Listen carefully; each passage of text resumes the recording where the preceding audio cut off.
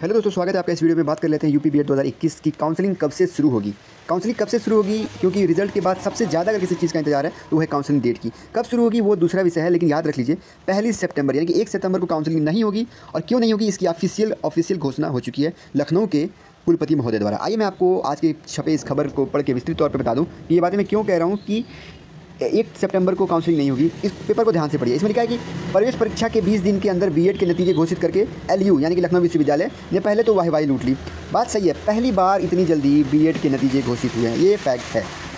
ठीक है? है कि अब काउंसलिंग पर मामला अटक गया है। यहाँ से अगर आप देखेंगे, यहाँ से तो क्या लिखा है? अब काउंसलिंग पर मामला अटक गया है। पहले से तय तारीख, जी, यही वो खबर है जिसकी मैं बात कर रहा था कि पहले से, इसके नीचे, इस्लाम के नीचे देखिए। पहले से तय तारीख एक सितंबर से विश्वविद्यालय काउंसलिंग शुरू नहीं करा पाएगा।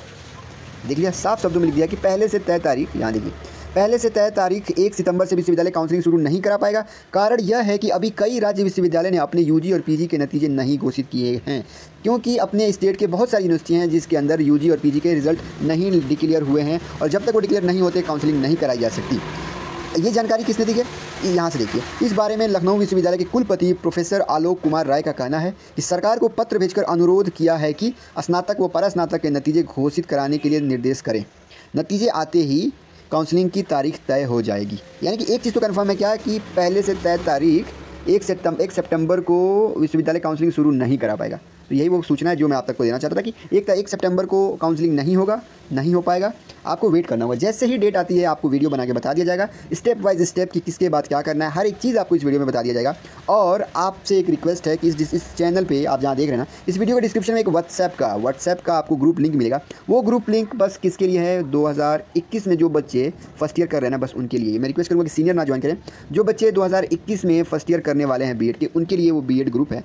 वो व्हाट्सएप ग्रुप का लिंक ज्वाइन कर लीजिए। जैसे कोई सूचना मिलती है, मैं आपको वहाँ पर दे दूँगा।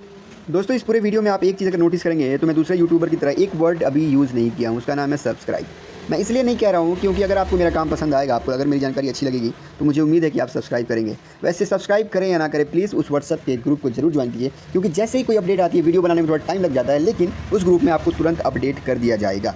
वो खास तौर पे 2021 और 23 बैच वालों के लिए बनाया गया है। यानी कि जिसका सत्र 2021 में शुरू होगा और 2023 में ख़त्म होगा, उन्हीं बच्चों के लिए वो व्हाट्सएप का ग्रुप बनाया गया है। आप उसे ज़रूर ज्वाइन करें, जैसे ही कोई सूचना आती है, किसी से संबंधित, चाहे वो काउंसिलिंग से संबंधित हो स्कॉलरशिप से संबंधित हो सिलेबस के बारे में जानना हो प्रैक्टिकल फाइल्स के बारे में जानना हो, और जैसे कि कब बच्चे क्या कर सकते हैं। बी के संबंधित सारी जानकारी आपको वहाँ पर दी जाएगी। मैं रिक्वेस्ट करूँगा कि आप उस व्हाट्सएप चैट को ज्वाइन करें और मुझे खुशी होगी खुशी होगी अगर आप सब्सक्राइब करते हैं। तो मिलते हैं नेक्स्ट वीडियो में गाइस सी यू तब तक अपना बहुत ख्याल रखिए और जैसे कोई अपडेट आती है, आपको बताया जाएगा। अगर स्टिल आपको कोई कन्फ्यूज़न हो, आप यहाँ कमेंट में पूछ सकते हैं व्हाट्सअप चैट में पूछ सकते हैं, कहीं भी पूछ सकते हैं। ओके दोस्तों, धन्यवाद. मिलते हैं नेक्स्ट वीडियो में. बाय बाय अपना खूब ख्याल रखिए. जय हिंद, जय भारत.